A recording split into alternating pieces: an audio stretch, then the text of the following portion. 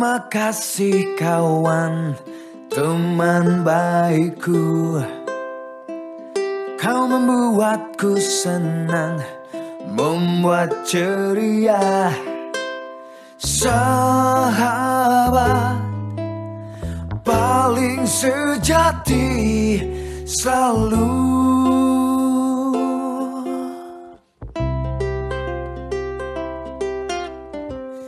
Persahabatan kita kisah klasikku. Tahun bulan dan hari kita lalui. Sahabat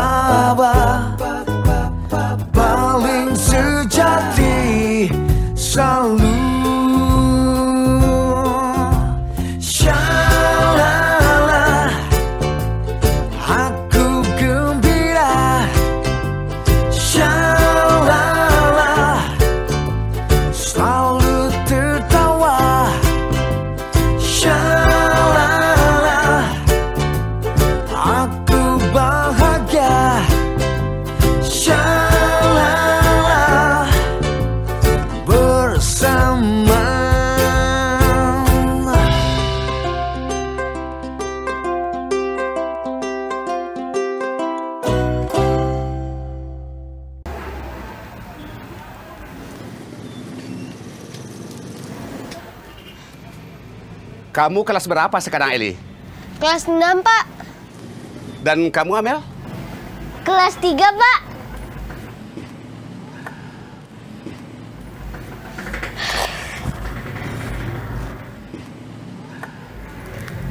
Pak, saya boleh minta tolong tidak? Ada apa, Eli? Titip Amel dulu di sini ya, Pak. Kamu mau ke mana, Eli? Ke toko foto. Kamu berani sendiri ke sana? Berani, Pak? Jangan lama, Eli. Nanti bapakmu datang. Iya, Pak. Amel, kamu tunggu Uni di sini dulu ya, sebentar. Ikut Uni.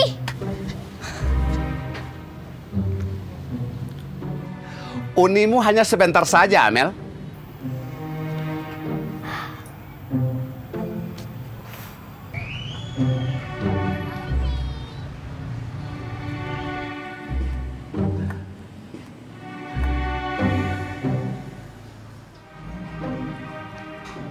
Bisa, Dek. Jam berapa bisa diambil Uni? Satu jam lagi bisa diambil. Terima kasih Uni.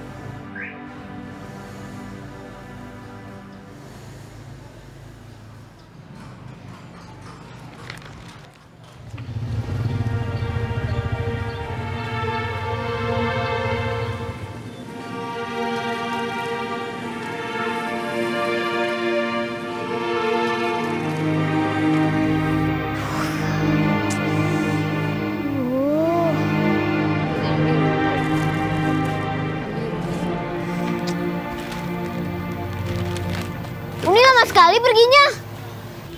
Bapak belum datang? Belum. Memangnya Bapak ke mana Uni? Ada urusan. Amel tahu ada urusan. Hmm, tapi urusan apa? Urusan orang tua.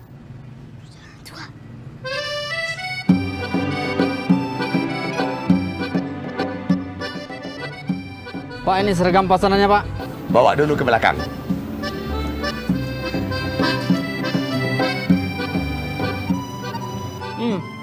Setelah makan, kamu antar pepaya nih ke rumah Mak Ahmad untuk si Naila. Hmm? Ya, Mak. Buran mau main layangan sama Chan, Mak. Boleh. Hati-hati mainnya. Dan waktu sholat asar, kalian sudah harus ada di rumah. Ya? Ya, Mak. Ya, Mak.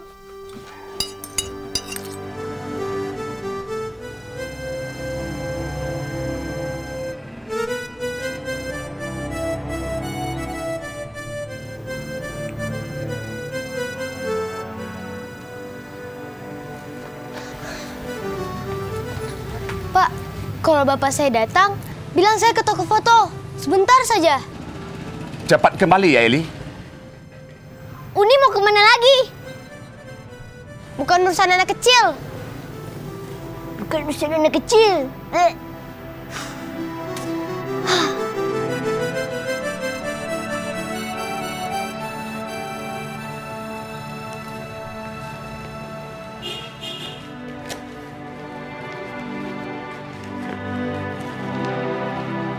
Makasih Uni. Ya,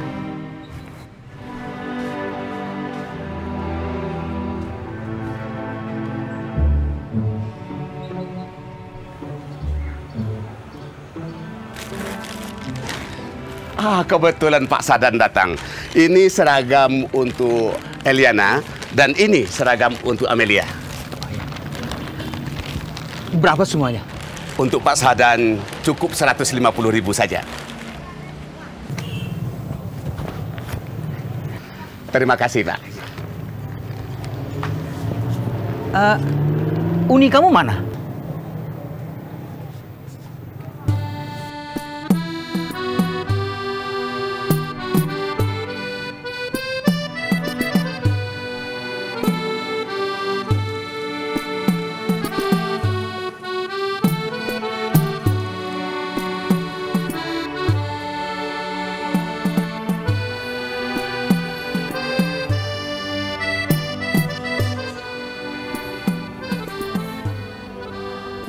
Mau ke mana, Dek? Ini kantor Pak Bupati, Pak. Iya, betul. Ada apa? Pak Bupatinya ada? Ada.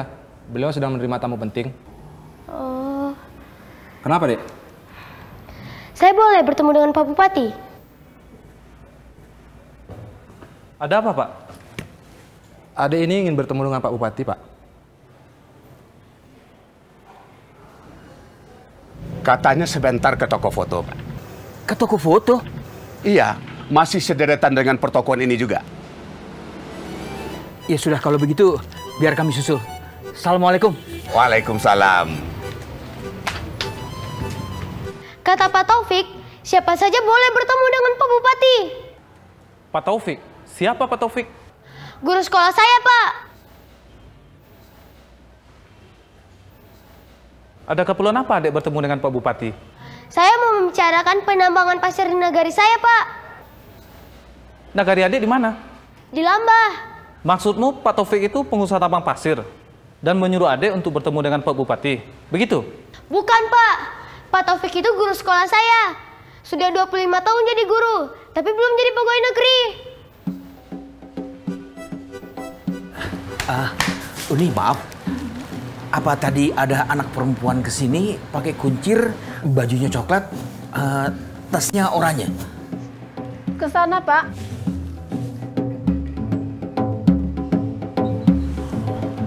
Oh, oh ya, terima kasih. Makasih, Uni. Kata Pak Taufik, siapa pun boleh menyampaikan pendapat pada Pak Bupati. Memangnya Adek mau menyampaikan pendapat apa? Pendapat saya, penambangan pasir di negari saya merusak lingkungan, merusak sungai, merusak jalan, merusak... Ah, tahu apa Adek soal itu? Saya tahu, Pak Taufik yang memberitahu. Ah, dari tadi Pak Taufik, Pak Taufik saja. Lebih baik Adek pulang saja. Pak Bupati tidak punya waktu bertemu dengan anak ingusan. Tidak mau. Saya tidak mau pulang sebelum bertemu dengan Pak Bupati. Eh, benar-benar anak ini. Sebentar. Maaf. Ada apa dengan anak saya? Oh, ini anak Bapak. Eh, iya, saya minta maaf kalau anak saya berbuat kesalahan. Bukan saja melakukan kesalahan, tapi juga kurang sopan. Berani-beraninya mau bertemu dengan Pak Bupati. Betul, Eli. Iya, Pak. Eli memang mau bertemu dengan Pak Bupati. Tapi dengan sopan. Coba lihat, dia berani membantah. Bapak bisa mendidik anak tidak? Oh, iya. Bapak dari Lambah kan? Nagari yang cuma punya satu sekolah. Sekolah yang muridnya tak pernah bertambah. Hah? Anak Bapak kurang sopan. Tolong Bapak mendidiknya. Jangan hina Bapak saya. Jangan hina Bapak saya. Eli, Bapak saya sudah mendidik saya dan adik-adik saya. Bapak saya sudah menyekolahkan saya dan adik-adik saya. Bapak saya mengerti pendidikan. Eli, sudah. Tidak, Pak. Mereka harus minta maaf pada Bapak. Mereka harus tahu bahwa Bapak pernah jadi wali negari. Bapak orang yang berpendidikan. Sudah, Eli, sudah. Jangan hina Bapak saya. Sudah, Eli, sudah. Jangan hina Bapak saya. Kita pulang, ayo kita pulang. Eli, Jangan hina Bapak saya. Ayo, Eli. Jangan hina bapak saya. Eli, sudah. Jangan hina bapak saya. Eli, sudah. Jangan hina bapak saya. Jangan hina bapak saya. Jangan hina bapak saya. Begitu Uni berteriak-teriak pada bapak-bapak di kantor Bupati. Bupati Amel. Bupati. Iya. Amel kan juga bilang.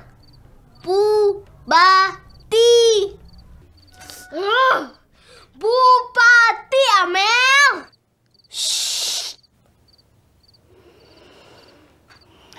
Eli, kamu selalu berlebihan dalam menghadapi segala masalah. Tidak sopan berteriak-teriak pada mereka. Mereka tuh orang tua. Mereka juga tidak sopan, Mak. Bapak kan lebih tua dari mereka. Mereka berteriak-teriak sambil menunjuk-nunjuk Bapak. Itu artinya kamu sama tidak sopannya dengan mereka. Sudah lama. Masih untung Eliana yang marah. Kalau bapak yang marah, kejadiannya bisa lebih repot. Iya, Mak. Kalau Bapak yang marah, pasti mereka lari ketakutan. Sama Uni Eli aja mereka takut. Bapak-bapak itu diam saja dimarahi Uni Eli. Jangan hina bapak saya! Jangan hina bapak saya! Jangan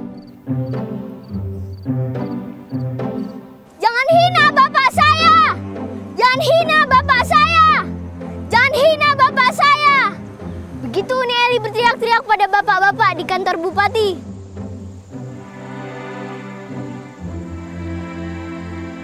Jangan hina bapak saya! Jangan hina bapak saya! Jangan hina bapak saya! Hmm, begitu pak. Jangan hina bapak saya. Jangan hina bapak saya. Jangan hina bapak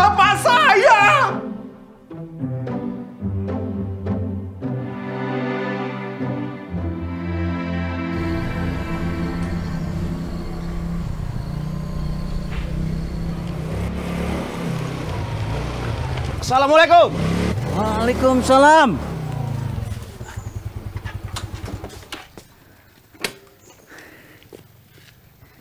Ada yang penting rupanya Pak Wali. Penting sekali Pak Sadan. Sangat, sangat penting. Elah, masuklah.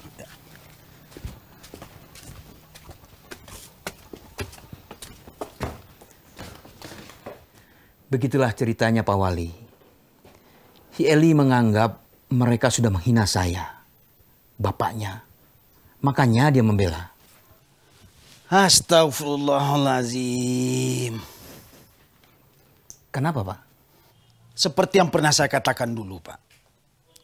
Saya khawatir peristiwa Eliana itu bisa mengurungkan niat Pak Bupati. Untuk segera menurunkan bantuan kredit usaha kecil ke negara kita.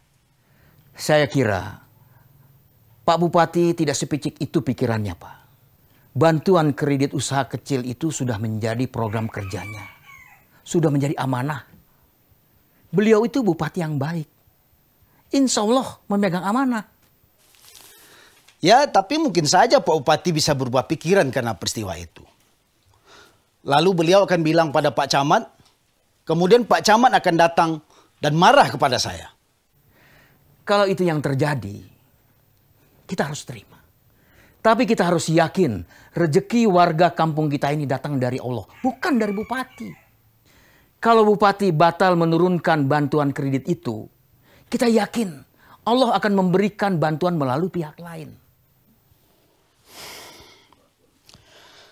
Begini saja Pak, kalau nanti Pak Camat datang kemari, atau saya dipanggil datang ke kantornya, Pak Sadan harus mendampingi saya. Kalau perlu bawa Elena juga, kita harus minta maaf pada Pak Bupati. Dan kita sampaikan lewat Pak Camat. Saya siap jika diperlukan.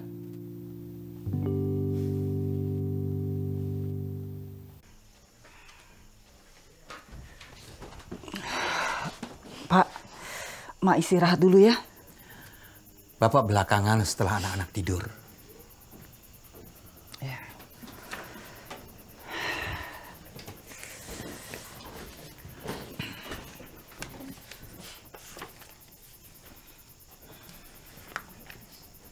Udah. Yo.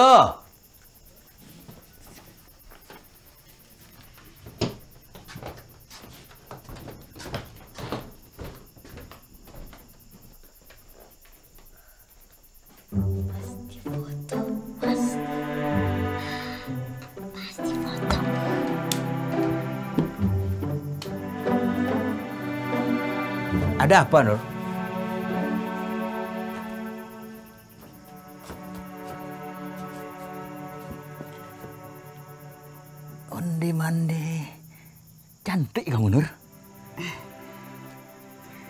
Siapa yang bikin nih? Eliana. Kemarin waktu ke kota, Eliana kan sempat hilang. Waktu datanya sama Pak Mahyar, katanya dia pergi ke toko foto. Rupanya ini yang dilakukan di sana. Bingkainya bagus juga. Si Pukat yang buat.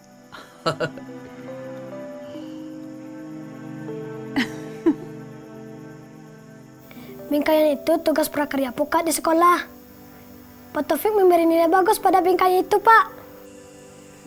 Kalau nilainya jelek, Pak Topik itu tidak paham seni. Amel dan Uda Burhan yang menyimpan foto emak di kamar emak.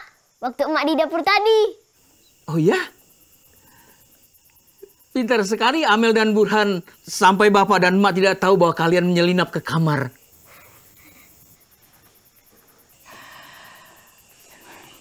Pernikahan emak dan bapak tiga balik tahun yang lalu berlangsung sederhana saja.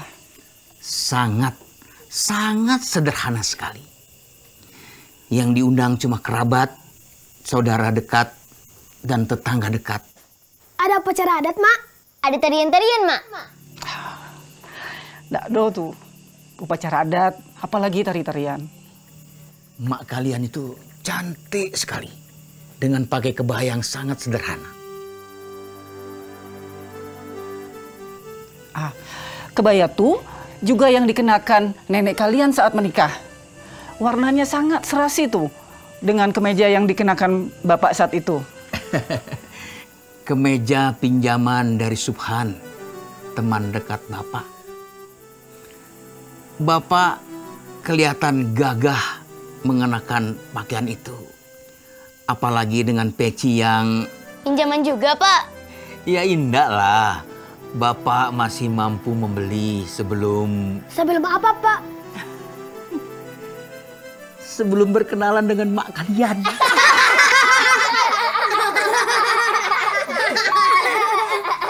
Peci itu Bapak semir sebelum di hari pernikahan. Kelihatannya masih seperti baru. Tidak ada bedanya waktu Bapak beli di toko. Semua orang yang datang bilang Bapak dan Emak adalah pasangan serasi, gagah dan cantik. Burhan tak percaya. Hmm, maksudnya? Tak ada bukti. Tak ada foto kalau saat itu bapak dan mak gagah dan cantik. Tak ada satu kamera pun Burhan yang mengabadikan pesta kami.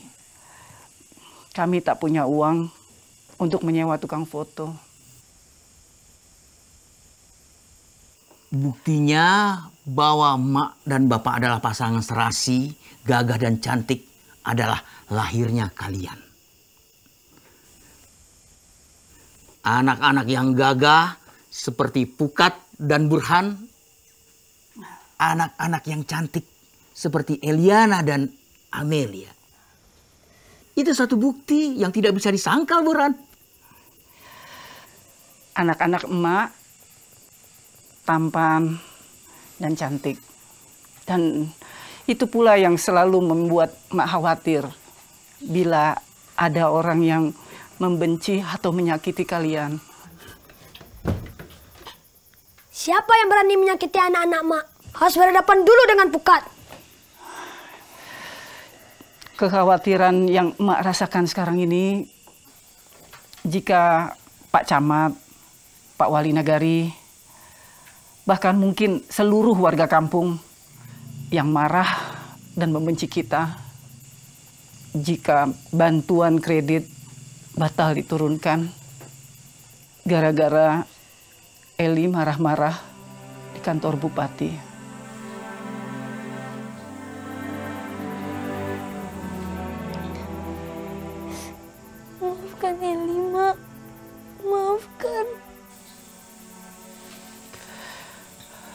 Untukmu Eli. Untukmu bukan. Juga untukmu Burhan. Dan juga untuk Amel. Maaf, Mak. Takkan pernah surut.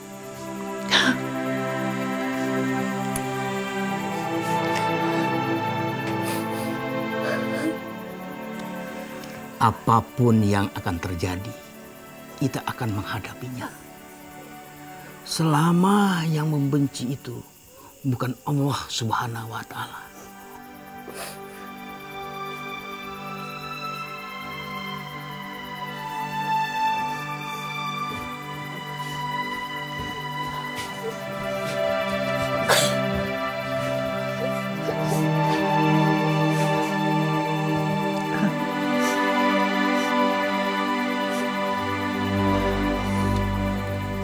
Cintailah cinta mereka.